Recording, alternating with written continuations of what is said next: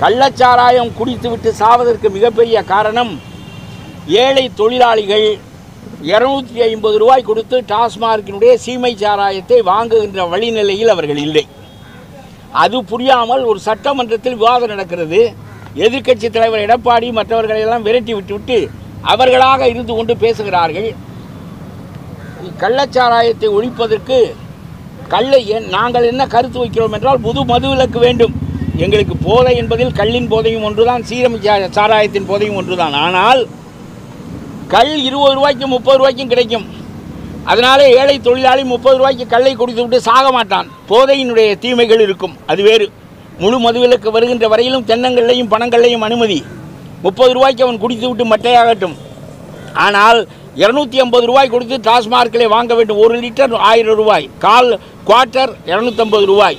இரநூத்தம்பது ரூபாய் கொடுத்து ஏழை தொழிலாளி குடிக்க முடியாத காரணத்தினாலே தான் கல்வாரி மலையிலே இருக்கின்ற சி கள்ளச்சாராயத்தை குடித்துவிட்டு அவன் சாகுறான் குருடாகிறான்.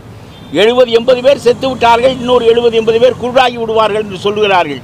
இத்தகைய நிலையை ஏற்படுத்துவது என்பது ரொம்ப கேவலமானது. ஆகவே இதற்கு தீர்வு என்பதை நாங்கள் சொல்லுகிறோம். நீ இந்த முழு மதுவிலக்கை கொண்டு வருகின்ற வரையிலும் கள்ளையும் பணங்கள்ளையும் அனுமதி. இருபது முப்பது ரூபாயோடு அந்த தொழிலாளி தன்னுடைய குடிப்போதையை தீர்த்து கொள்வான். கிக்கில்லையாம் நம்முடைய துறைமுருகன் சொல்லுகிறார். வெட்கம் இல்லாமல் சொல்லுகிறார் ஒரு மந்திரி.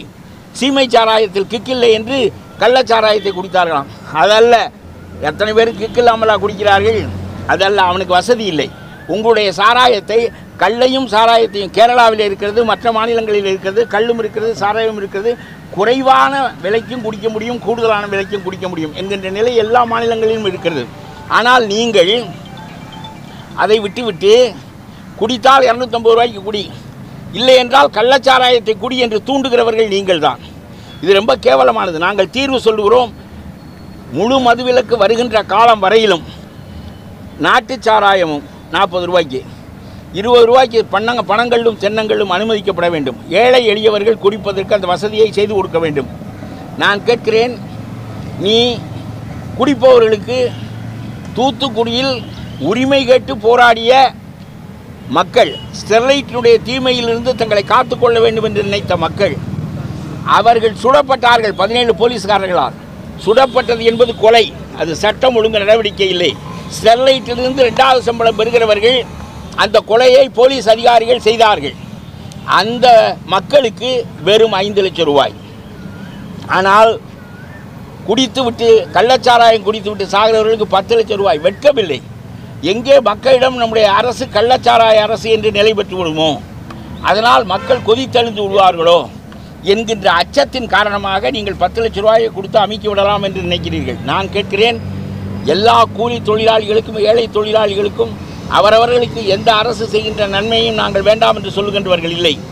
ஆனால் தூத்துக்குடியில் போராடி செத்தவனுக்கு அஞ்சு லட்சம் ரூபாய் கள்ளச்சாராயம் குடித்தவனுக்கு பத்து லட்சம் ரூபாய் என்பது அரசினுடைய மூடத்தனமான சிந்தனை போக்கை காட்டுகிறது. ஆளுகிறவர்களுக்கும் அறிவில்லை சொல்லிக் கொடுக்கிற அதிகாரிகளுக்கும் அறிவில்லை. இதுதான் நிலைமை. ஆகவே அவர்கள் சொல்லுகிறார்கள் கள்ளுக்கடையை திறக்க வேண்டிய நிலை எழவில்லை. எழும்போது சிந்திப்போம் எப்பொழுது எழும்? மரக்காணத்திலே செத்தான் விழுப்புரத்திலே செத்தான். இப்பொழுது கள்ளக்குறிச்சியிலே சாகிறான். வரிசையாக செத்து கொண்டிருக்கிறார்கள். உங்களுக்கு அறிவில்லை பத்து லட்சம் கொடுத்து மூடி விடலாம் என்று நினைக்கிறீர்கள். உங்களுடைய தகப்பனார் தான் இந்த கள்ளுக்கடை தீமைக்கு முதல் காரணம். கள்ளக்குடி கொண்ட கருணாநிதி தான் கள்ளுக்கடையை திறந்து இந்த தீமையை தொடங்கி வைத்தார். உங்களுடைய காலம் கள்ளச்சாராய காலமாக இருக்கிறது. இது அதைவிட மோசமான காலம். ஆகவே மீண்டும் நாட்டு சாராயத்தையும் கள்ளச்சாராயத்தையும் நாட்டு சாராயத்தையும் கள்ளையும் திறங்கள். முப்பது ரூபாய்க்கு நாற்பது ரூபாய்க்கு அவர்கள் குடிப்பதற்கு வசதி செய்யுங்கள். மொத்தமாக பீகாரை போல் மதுவை மூடுங்கள்.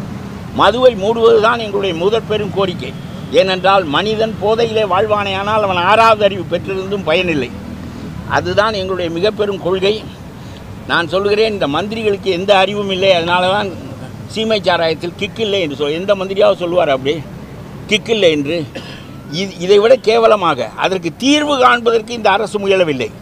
தீர்வு என்பது ஏழை தொழிலாளி குடிக்கின்ற வசதியில் அவனுக்கு அந்த சாராயத்தை அந்த போதையை நீ கொடுக்க வேண்டும் என்பதுதான் தீர்வு.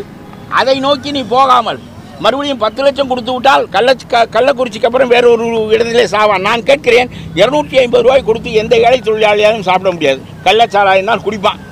இதுக்கு அறிவில்லாமல் ஆயுள் தண்டனை கொடுக்கிறீர்களே. சாராயம் காய்ச்சுகிறவனுக்கும் சாராயம் குடிப்பவனுக்கும் ஆயுள் தண்டனை என்றால் கொலை செய்கிறவனுக்கும் ஆயுள் தண்டனை. சாராயம் குடிக்கிறவனுக்கும் ஆயுள் தண்டனை என்றால் இந்த அரசு குற்றத்திற்கு தகுந்த தண்டனை கொடுக்கின்ற அறிவுடைய அரசாக இல்லை. ஒரு அரசுக்கு அந்த அறிவு வேண்டும். ஒன்வே டிராஃபிக்கில் போகிறவனுக்கு பத்தாயிரம் ரூபாய் அபராதம் என்று சொன்னால் அப்புறம் எதுக்கு ஒன்வே டிராஃபிக்கில் போலீஸ்காரனை குத்தி விட்டு பத்தாயிரம் ரூபாய் அபராதம் கட்டுவோம் என்று நினைப்பான்? எப்பொழுதும் குற்றத்திற்கு அறிவில்லை இந்த அரசுக்கு என்று நான் சொல்லுகிறேன். குற்றத்திற்கு தகுந்த தண்டனை தான் கொடுக்க வேண்டும்.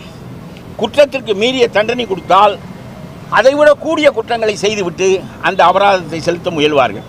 ஆகவே கள்ளச்சாராயம் காய்ச்சுகிறவனுக்கோ குடிப்பவனுக்கோ ஆயுள் தண்டனை என்பது முட்டாள்தனமான அரசு முட்டாள்தனமாக சிந்தித்து போட்ட முட்டாள்தனமான சட்டம் அது. அதை தடுங்கள் சட்டத்தை பயன்படுத்துங்கள் அளவான அளவுக்கு சட்டத்தை பயன்படுத்துங்கள்.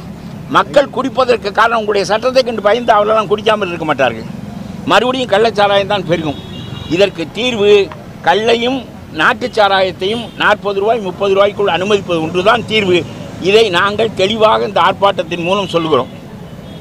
ஆகவே இதுதான் இன்றைய நிலை. கேவலமான அரசு. இந்த அரசு பதவி விலக வேண்டும் என்பதுதான் எங்களுடைய கோரிக்கை. நாற்பத்தி எட்டாயிரம் கோடி இந்த கல்லின் மூலம் வருமானம் வருகிறது. இது முன்வாசல் வழியாக அரசுக்கு வருகிற வருமானம். பின்வாசல் வழியாக ஆட்சியாளருக்கு வருகின்ற வருமானம் வேறு. அதனாலே தான் அவர்கள் இந்த கல் டாஸ்மார்க்கை மூட மறுக்கிறார்கள். ரெண்டு வருமானம் வருகிறது. ஆட்சியாளர்களுக்கு பின்வாசல் வழியாக வருகிறது. ஆட்சிக்கு முன்வாசல் வழியாக வருகிறது. ஒரு பத்து பேர் தேர்வு செய்து க சாராயம் உற்பத்தி செய்ய சொல்கிறார்கள். ஜெகத்ரட்சகன் சாராயம் உற்பத்தி செய்வார் டிஆர் பாலு உற்பத்தி செய்வார். ஆனால் கீழே இருக்கின்றவன் உற்பத்தி செய்தால் அவனுக்கு ஆயுள் தண்டனை. நான் கேட்கிறேன் கள்ளச்சாராயம் என்பது பெரிய நச்சு சாராயம் அதை ஒழிக்க அதற்குரிய தீர்வை நாங்கள் சொன்னது போல் நீ காண வேண்டுமே தவிர கடைசியாக இந்த தமிழ்நாட்டை பீகார் ரொம்ப ஏழை மாநிலம் அதில் அறுபதாயிரம் கோடி ரூபாய் அந்த மாநிலத்திற்கு வருமானம் வந்தது.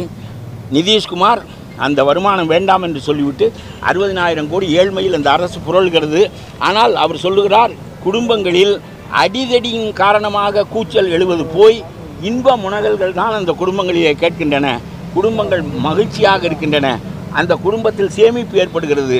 அதுதான் எனக்கு முக்கியமே தவிர அரசாங்கத்துக்கு அறுபதாயிரம் கோடி வருவது முக்கியமில்லை என்று சொன்னார். ஆகவே சொல்லுகிறேன் முதலிலே மூடுங்கள். கற்பூரத்தை தீவளையத்திற்குள் வைத்தால் அந்த கற்பூரம் எரிந்து விடாதா என்று கேட்டான் அவன் பீகாரிலே தீவளையத்துக்குள் கற்பூரத்தை வைத்திருக்கான் எரிந்து போய்விட்டானா? குஜராத்தில் இன்றைக்கு மதுவிலக்கு கடைபிடிக்கப்படுகிறது. எரிந்து விட்டானா? உங்களுக்கு அரசுக்கு வருகிற வருமானம் என்பது ஒரு பக்கம். பின்வாசல் வழியாக வருகிற வருமானம் என்பது இன்னொரு பக்கம். அதனாலே தான் நீங்கள் இதை மூட மறுக்கிறீர்கள். பீகாரையும் குஜராத்தையும் பின்பற்றி தமிழ்நாடு இந்த கல்லை முற்றாக ஒழிக்க வேண்டும். மது மதுவை முற்றாக ஒழிக்க வேண்டும். மதுவிலக்கு மீண்டும் இந்த நாட்டிலே நெறிபெற செய்ய வேண்டும். கொட்டும் மலையில் ராஜாஜி போய் சொன்னார் உங்களுடைய அறிவில் அது தைக்கவில்லை. இந்த நாட்டை நாற்பது ஐம்பது ஆண்டு காலமாக குடிக்கு பழக்கப்படுத்தி புதிய தலைமுறையை நாசப்படுத்தி வைத்திருக்கிறீர்கள். நீங்கள் ஆயிரம் ரூபாய் குடும்ப தலைவிக்கு பணம் கொடுப்பது என்பதை விட நான் சொல்கிறேன் ஒவ்வொருவருக்கும் நீங்கள் மானியம் கொடுத்து மானியம் கொடுத்து பத்து லட்சம் பத்து லட்சமாக கொடுத்து உங்களுடைய அரசு தாங்காது. எல்லா இடங்களிலும் கள்ளச்சாராயம் பெறும். மறுபடியும் கள்ளச்சாராயம் ஒரு இடத்தில் நடந்தால் நீங்கள் என்ன தூக்கு போட்டுக் கொள்வீர்களா? உங்களுக்கு தீர்வு சொல்ல தெரியவில்லை என்பதுதான் அதுக்கு பொருள். ஆகவே நிலையாக மதுக்கடைகளை மூடுகின்ற வரையிலும் பணங்கள்லையும் தென்னங்கள்லையும் நாட்டுச் சாராயத்தையும் அனுமதியுங்கள். நாற்பது ரூபாய்க்குள் குடிக்க வையுங்கள். முழு மதுவிலக்கை கொண்டு வாருங்கள். இல்லாவிட்டால் எவ்வளவு வருவாய் வந்தாலும் தமிழன் எவ்வளவு சம்பாதித்தாலும் நாசமாய் போயிடுவான். இந்த நாட்டை நாசமாக்காதீர்கள் என்பதுதான் எங்களுடைய வேண்டுகோள்.